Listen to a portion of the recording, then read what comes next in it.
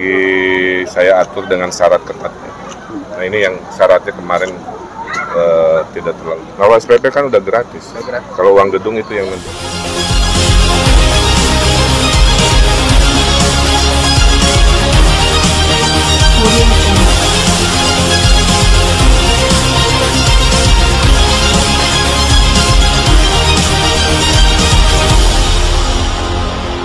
Biaya seragam.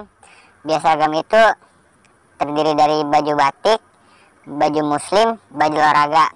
Itu biayanya 855.000 dan biaya SPP 200.000 per bulan. Biaya uang gedung itu 6 juta bisa dicicil sama masa saya sekolah. Hasil rapat komite sekolah.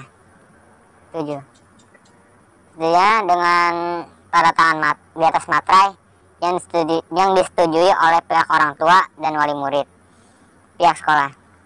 Keberatan bang. Cuman ya mau gimana lagi? Abang saya swasta. Itu juga biayanya cukup gede.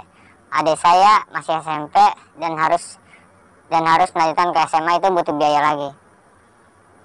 Ayah saya serabutan. Oh, ibu? ibu saya menjual nasi uduk sih. Nggak sanggup. Ya tapi mau gimana lagi udah di tangan materai. Harapan saya sih agar uang gedung dan SPP itu diturunin lagi harganya. Saya cukup keberatan dengan uang gedung segede gitu. Apalagi dengan kerjaan orang tua saya seperti itu.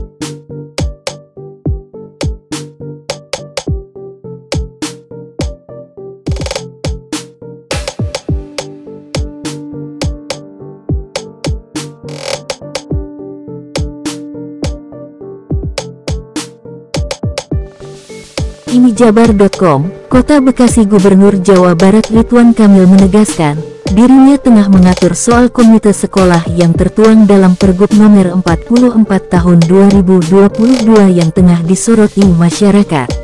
Lagi saya atur dengan syarat ketat. Nah ini yang kemarin syaratnya kurang ini, jawab pria yang akrab disapa Kang Emil ini saat memberikan bantuan di wilayah Kelurahan Kayuringin Bekasi Selatan Kota Bekasi. Selasa tanggal 20 September tahun 2022. Saat ditanya apakah diperbolehkan meminta uang gedung atau SPP di sekolah. Mantan wali kota Bandung tersebut hanya menjawab bahwa uang SPP di SMAN SMKN di Jawa Barat sudah gratis. Kalau SPP kan sudah gratis. Kalau uang gedung, nah itu yang akan nanti kita atur. Red ujarnya. Sekedar diketahui, selama ini komite sekolah justru dianggap sebagai tukang stempel kepentingan kepala sekolah. Peraturan gubernur terkait tata kelola SLTA tentu sangat dibutuhkan. Termasuk Pergub nomor 44 tahun 2022 tentang Komite Sekolah, sangatlah strategis untuk menguatkan layanan terbaik bagi masyarakat, khususnya di Jawa Barat. Keberadaan komite sekolah dalam sebuah sekolah tentu sangat penting dan seksi. Bahkan karena penting dan seksi terkadang ada sejumlah oknum yang nyosor jadi pengurus atau ketua komite sekolah, padahal ia sudah habis periode dan bahkan syarat keanggotaan komitenya tak memenuhi. Di antara latar belakang hadirnya Pergub 44 adalah untuk meningkatkan mutu pelayanan pendidikan dengan memformalkan partisipasi masyarakat melalui pembentukan komite sekolah tentu sesuai undang-undang yang berlaku.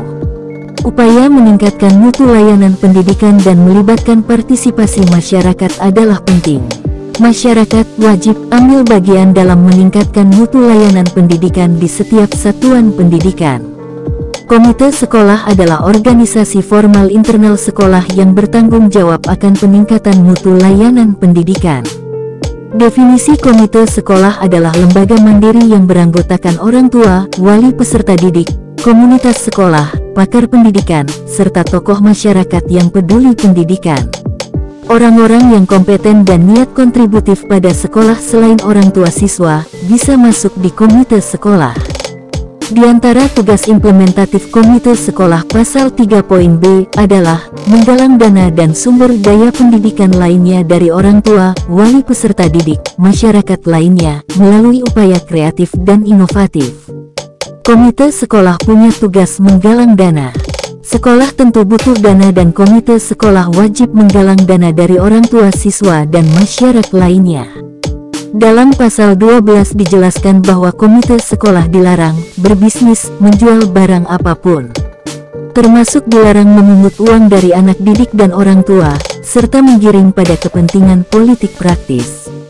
Pungutan, jualan, politik praktis dan modus ekonomi demi kepentingan pribadi dan pengurus tidak boleh. Dalam pasal 15 dijelaskan bahwa komite sekolah dibolehkan melakukan penggalangan dana, tetapi tentu bukan pungutan wajib. Penggalangan dana itu untuk dukungan tenaga, sarana dan prasarana, serta pengawasan pendidikan di satuan pendidikan agar mutu layanan pendidikan lebih meningkat. Penggalangan dana yang dibolehkan dalam pasal 15 secara demokratis, humanis. Prosesi penggalangan dana melalui musyawarah dengan entitas orang tua siswa. Tidak boleh sama rata atau semua dipaksa tanpa bulu pandang, pandang bulu harus membayar repa.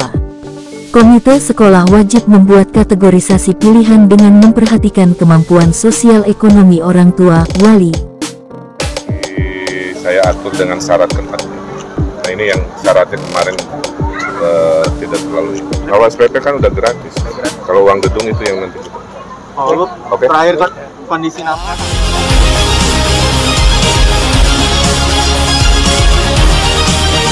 Jungle.